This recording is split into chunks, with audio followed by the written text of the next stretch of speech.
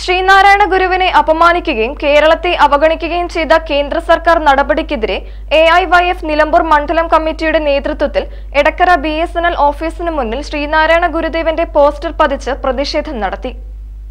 പ്രതിഷേധ പരിപാടിയിൽ A I Y F മണ്ഡലം പ്രസിഡന്റ് ജയകൃഷ്ണൻ മാസ്റ്റർ എടക്കര മേഖലാ സെക്രട്ടറി ഷമീർ ചേറൂർ പ്രസിഡന്റ് ഹരികൃഷ്ണൻ അമ്പാടി ഷാജഹാൻ മുണ്ട സെയ്ദ് അലവി വിനയചന്ദ്രൻ തുടങ്ങിയവർ പങ്കെടുത്തു. News bureau Edakkara.